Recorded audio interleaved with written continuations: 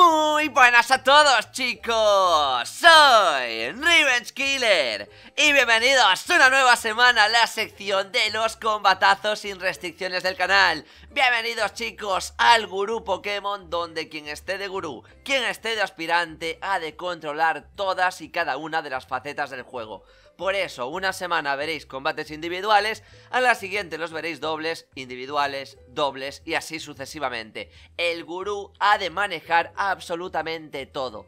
Combates sin restricciones, ¿qué quiere decir esto? ¿Que está todo permitido? Pues sí, absolutamente todo, es decir, podéis repetir objetos, podéis repetir Pokémon, podéis utilizar los Pokémon que queráis como queráis. Lo único, hay dos mínimas restricciones que son lógicas para que la suerte no juegue un factor importantísimo, es decir, no podéis dormir a más de un Pokémon a la vez y además tampoco podéis subiros la evasión, pero creo que eso es bastante, bastante lógico. Dentro de lo demás, ya sabéis, el vídeo de las normas en la descripción para poder disfrutar de cada sección y también en el tweet de participación, faltaría más. Quiero ver esta batalla porque sinceramente, viendo ambos equipos no sé por dónde van. O sea, normalmente ves una estrategia predefinida, una estrategia clara, pero en este caso no. Veo un medio Team en plan Manafi con hidratación, Peliper, luego veo las pollas hermanas, es decir, a Jaulucha y a Tapu Cocaína, pero tampoco se ve demasiado en el equipo de Drake, no sé muy bien por dónde va a ir, así que vamos a darle al play y qué mejor que ambos contendientes nos enseñen sus dientes, nunca mejor dicho, por cierto, menuda rima de mierda porque las dos acaban en dientes, con lo cual tampoco tiene demasiada lógica, ¿no? Pero bueno, así soy yo.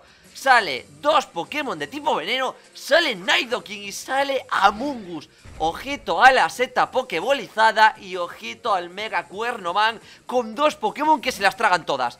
Ojo a Sakel que puede tener gula, ojo a Snorlax que puede tener gula, como les encanta comer la valla papolla. Vamos a ver qué hacen por aquí. Sale directamente Tapuka Wolf. Sale Tapuka Wolf usa las trampas rocas ese Sakel bastante bien lanzadas en este caso, le puede hacer daño a Jaulucha, le puede hacer también bastante puba peli, pero golpe cuerpo que no puede paralizar por ser de tipo eléctrico. ¡Ojo, Alex pura! ¡Madre mía! No me lo creo, no me lo creo que, que usando la misma... No, no puede ser.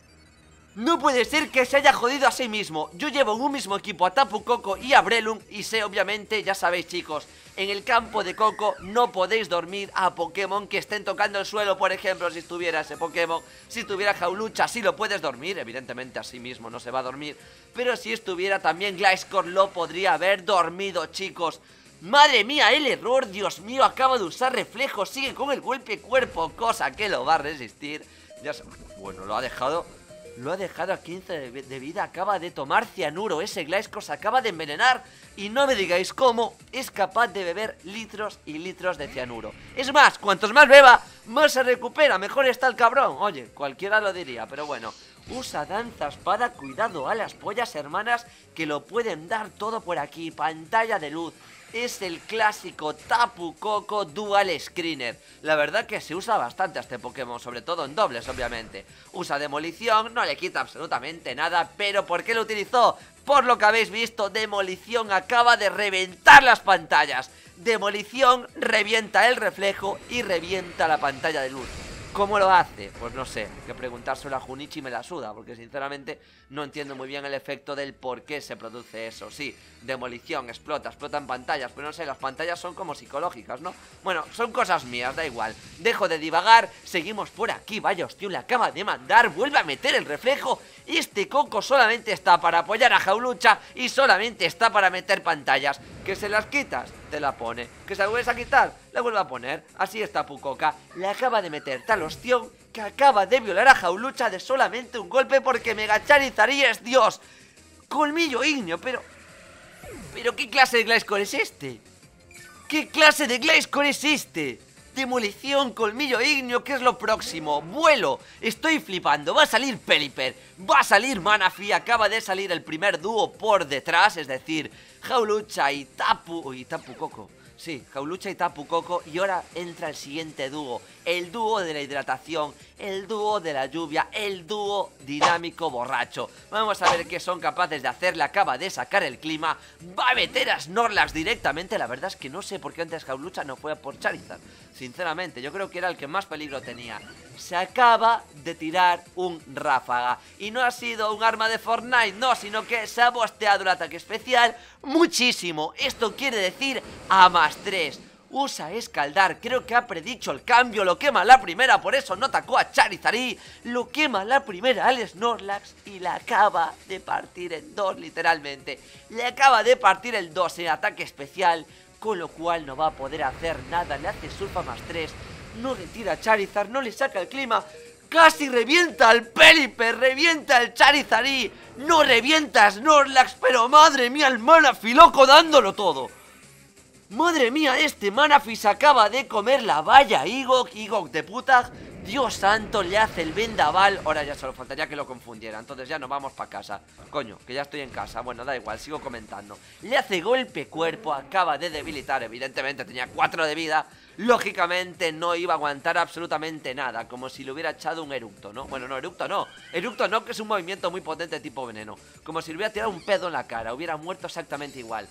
Va a salir Amungus. Ya no hay campo, ya puede dormir, puede usar también el polvo ira, puede polvear a quien quiera, quiere que le echen varios polvos, los está dirigiendo hacia él con su sexy Pokéball Shiny. Vamos a ver qué es capaz de hacer, le vuelve a meter el sur, pero es que recordemos, está más 3. Es que hasta la hostia más pintada le manda la Mungus. La hostia más pintada la acaba de mandar. Está más 3, le cuela el... ¿Qué cojones? ¿Qué? Un ¿Pero? ¿What the fuck? Un tóxico Ah, vale, vale, vale, vale, vale. De todos modos sigue siendo un error. Había hecho el polvo ira, ¿vale? Es decir, el movimiento siempre iba a ir hacia él. Da igual, el tóxico Jamás le tiréis un tóxico a Manafi Porque tiene hidratación en lluvia, obviamente. Es decir, aunque lo hubiera colado el tóxico Se iba a curar antes de dañarse. O sea, entra en juego antes la habilidad. O al menos eso creo. Con lo cual el tóxico no hubiera hecho absolutamente nada. Hace otro sur Hace otro sur Dios Dios, Dios, Dios, Dios, Dios, Dios, Dios. Las hostias que está mandando el Manafi. Cada vez que sale este Pokémon revienta todo Kiske. Madre mía, puño y elamen en toda la mocha y lo resiste perfectamente bien. Obviamente ya iba dirigido a él, pero con el polvo ira pues iba dirigido por dos. O sea, no le iba a dar una vez, no. Le iba a dar dos veces. Vuelve a echar otro polvo está lleno de polvos y no sé cómo es posible porque está lloviendo muchísimo, por lo tanto no lo entiendo, lo deja a 69 de vida. O sea, le echan un polvo y lo dejan a 69 de vida, es que eso estaba clarísimo. Vuelve a hacer surf, vuelve... y lo aguanta.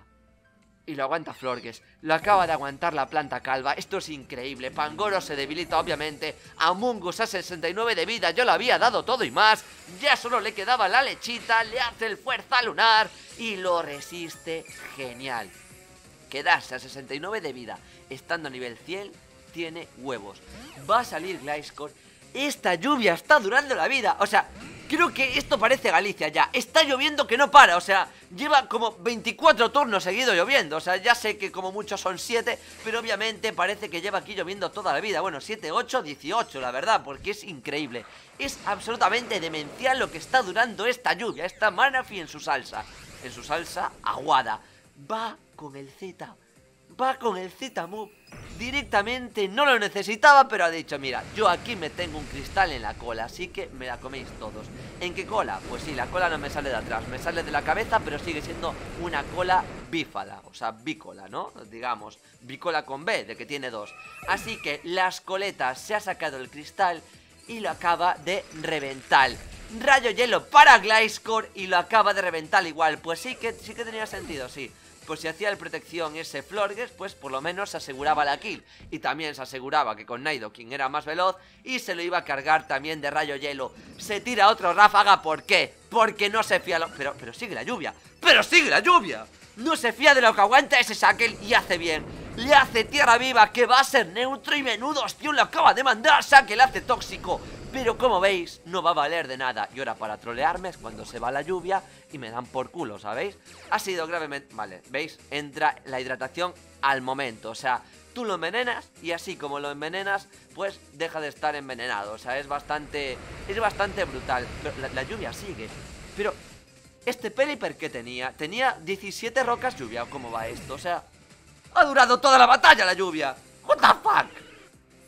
No sé si es porque es un combate doble y se hace como un poquito más lento, pero os juro que para mí esta lluvia ha durado eternamente. O sea, no sé si se ha parecido Noé, no sé si he visto el arca en algún sitio, pero para mí esta lluvia ha sido jodidamente eterna. O sea, creo que me he perdido algo, la verdad. El caso es que Argas acaba de mantenerse en el trono solamente con la core de lluvia más Manafi. O sea, no he necesitado nada más. Sacó a Manafi, sacó una lluvia eterna, sacó a Noé y directamente ha ganado la batalla, sin más. Es que no he necesitado hacer nada. Es increíble. En fin, Bien jugado por parte de ambos, la verdad, más allá de esos pequeños errores que creo que nos van a servir para aprender. Bueno, digo pequeños por ser benévolo, ¿no? Pero bueno, creo que nos van a servir para aprender a todos, ¿vale? Acordaos, ¿qué podemos recapitular? Pues bien, podemos recapitular que Noé está en Pokémon, podemos también recapitular que ese Manafi barre con quien quiere, cuando quiere, como quiere, con ráfaga y lluvia, y también podemos confirmar que no podemos dormir en campo de Tapu Koko si estás tocando el suelo. Además de no envenenar a un Manafi cuando está la lluvia activa porque tiene hidratación. Pero bueno, eso son cosas que hay que aprender jugando, obviamente, hay que aprenderlas viéndolas. Y creo que esta batalla, la verdad, ha merecido muchísimo, muchísimo la pena. Espero que os haya molado, ya sabéis que para participar lo único que tenéis que hacer es seguirme en Twitter y retuitear el tweet de la sección. ¿Cómo lo reconocéis? Por una imagen que voy a poner tranquilamente del eh, gurú Pokémon. Muy, muy fácil de ver, muy sencilla, que bueno, es imposible no detectarla. Así que chicos, espero que me podáis dejar ese pedazo de like que tanto me ayuda. Y por supuesto, espero que compartáis, que últimamente veo que no compartís demasiado. O sea, o no compartís demasiado o cuando compartís es súper tarde. Así que os agradezco que compartáis los vídeos más o menos lo más pronto posible cuando salgan, pero yo que, con que compartáis seré feliz, ¿vale? Da igual cuándo. Así que lo dicho chicos, muchas gracias por ver el vídeo hasta el final y nos vemos, como siempre, en los próximos. ¡Hasta otra!